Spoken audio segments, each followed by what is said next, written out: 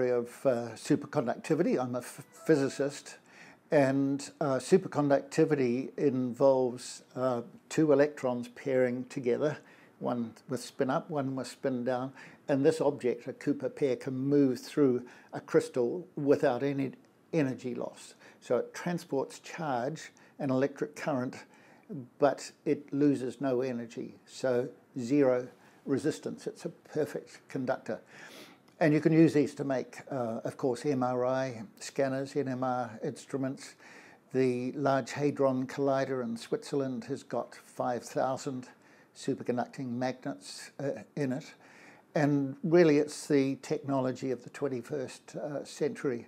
It's going to impact on everything transport, health, communications, energy, research? Well, it's a bit like my science. Uh, I've been a scientist as long as I can remember, and I think I've been a Christian as long as I can remember.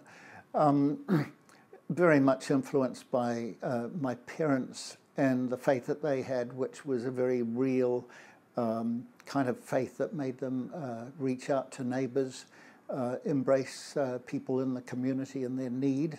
And I think that was really vital for me to understand that Christianity was a living expression of faith uh, through action, and it's not just uh, all belief, and it's not just mental. Um, so that was that was crucial, really, and I want to honour my parents in that they were faithful people.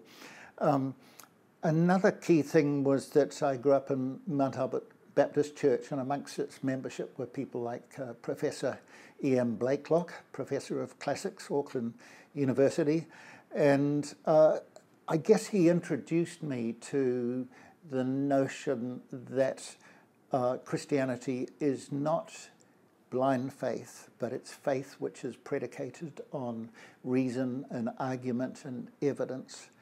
And of course, that was the hallmark of, of his uh, preaching and teaching and uh, public engagement uh, was the role of evidence uh, as it plays out uh, in a Christian's faith. So that was pretty crucial, really. And I think that the idea of God becoming human is that's got to be the most profound thing within the universe.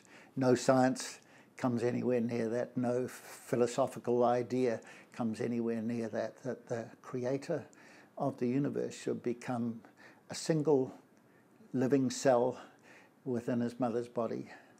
That's profound. That's that's wonderful, and everything springs from that, uh, really. But at the human level, Einstein is, has famously said that in the words of Jesus, one has a teaching which is capable of healing all the social ills of humankind. So even if you take Jesus just simply at the level of a wise teacher.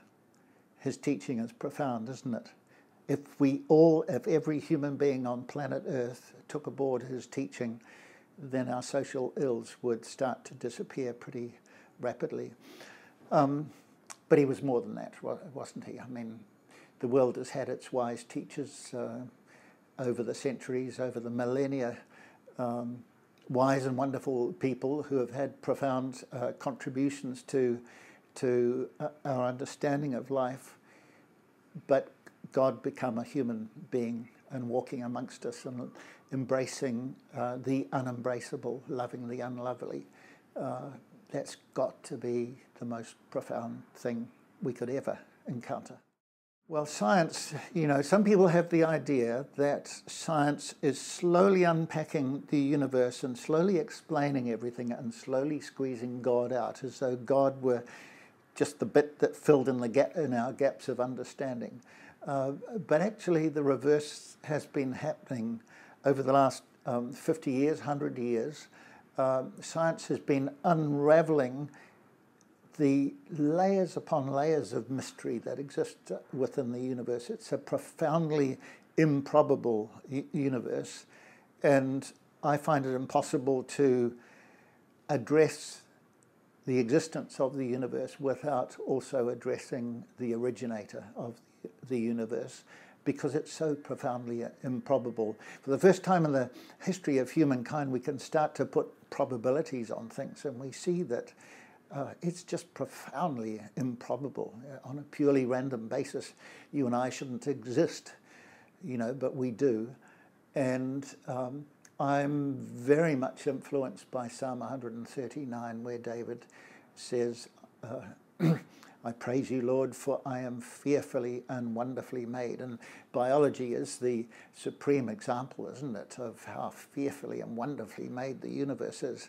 Often people in the general public have never thought about these things, have never thought that faith need not be blind faith, but it's having um, a reason to believe, having good reason uh, to believe.